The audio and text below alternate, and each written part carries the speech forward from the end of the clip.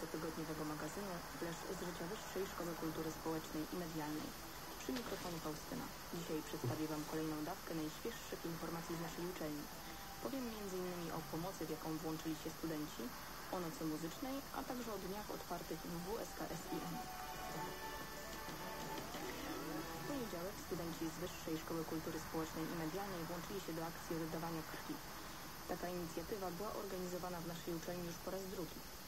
Przed południem na parking WSKSIM wjechał krwiobóz, w którym mogliśmy oddawać krew aż do godziny 17.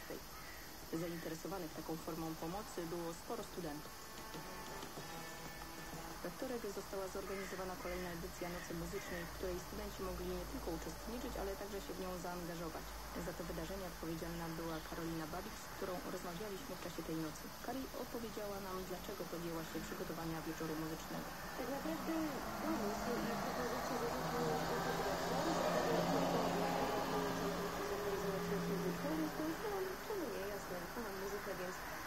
spróbować. Karolina powiedziała nam również, jaką pracę musiała wykonać, by przygotować ten wieczór. Musiałam przeprowadzić casting, później osobno po prostu ćwiczyć z ludźmi, organizować próby, e, zorganizować także klub na Starówce, który by nas przyjął, gdzie byłoby klimatycznie. No i jakieś tam pomniejsze drukowanie tekstów. Mówiła Karolina Babik, studentka pierwszego roku studiów uzupełniających magisterskich. Rozmawialiśmy też z wykonawczynią jednego z utworów, która powiedziała nam, co zaśpiewała oraz jakie emocje jej towarzyszyły.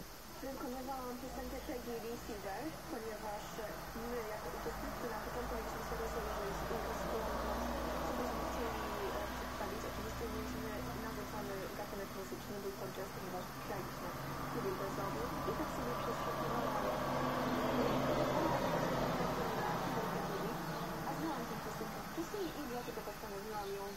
Była trema i ją bardzo czułam, ponieważ e, miałam może dwa, trzy spotkania, jeżeli chodzi o próbę, czyli dwa, trzy razy prześpiew- prześpiewałam tę piosenkę.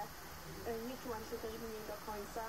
Nie byliśmy też tak wszyscy do końca zgrani i jakoś po prostu nie czułam się pewnie. No ale po prostu przypowierzyłam Panu Bogu ten występ i, i weszłam na scenę. No i było fajnie, naprawdę było przyjemnie. Ja się czułam naprawdę przyjemnie e, na scenie, tylko właśnie tej pewności mi brakowało. Mówiła Karolina Woźniacka, studentka drugiego roku dziennikarstwa. Na widowni zgromadziło się wiele osób. My rozmawialiśmy z jedną z nich i pytaliśmy o wrażenia. Posłuchajcie. Ja lubię tego typu wieczory, gdzie młodzi, utalentowani, zdolni ludzie prezentują swoje umiejętności na scenie w formie takiej bardzo kulturalnej i śpiewając bardzo takie pios- piosenki, które są takich inicjatyw będzie jeszcze więcej w naszej uczelni. W środę w WSKSIM odbyły się dni otwarte. Studenci Wyższej Szkoły Kultury Społecznej i Medialnej oprowadzali zainteresowanych po uczelni, odpowiadali na pytania oraz mówili o możliwościach, jakie stwarza się studentom wybierającym to miejsce. O szczegółach przygotowanych przez naszą uczelnię dla przybyłych opowie nam Sylwia. Osoby, które się zdecydowały się przyjść, e, miały dwa programy. Jeden program e, dotyczył e, wydarzenia na auli. Zaprezentowane były tam e, koła zainteresowań, e, oferta akademicka na rok 2016-2017, a także wiele, wiele ciekawych e, rzeczy, w tym również konkursy z bardzo atrakcyjnymi nagrodami. Drugą część naszego dnia otwartego stanowi oprowadzenie po szkolach, a także możliwość sprawdzenia się w przykładowym wywiadzie, oprowadzenie po Radiu Sim, opowiedzenie również na czym zajmuje się telewizja Filma od środka, a całe wydarzenie kończy się bardzo fajną inicjatywą wspólnego grilla dla studentów i członków e, naszego wydarzenia. Mówiła Sylwia Serwańska, studentka pierwszego roku dziennikarstwa. Zapytaliśmy przybyłych, dlaczego postanowili przyjechać do WSKSIM, a także o to, co najbardziej podobało im się. Bardzo ciekawiło mnie tutaj w ogóle nauka w tej szkole i życie studentów, więc postanowiłam sprawdzić na własne oczy, jak tu jest. Najbardziej spodobał mi się punkt, y, gdzie opowiadaliście o tych wywiadach, o spotkaniach różnych z znanymi osobami. Mówiła Patrycja Nowacka.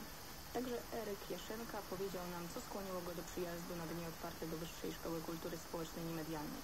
ponieważ e, mimo tego, że jestem w gimnazjum, bardzo zainteresowała mnie oferta tej szkoły. Przede wszystkim samą podstawę szkoły oraz e, słyszałem o tej uczelni, ale z kolei kształcenia się w tym kierunku, więc jak najbardziej mnie to podkusiło, żeby tutaj się pojawić. Mówił Eryk Jaszynka. A na dzisiaj to już wszystkie informacje, jakie dla Was przygotowaliśmy. Dziękuję za uwagę i do usłyszenia za tydzień o stałej porze.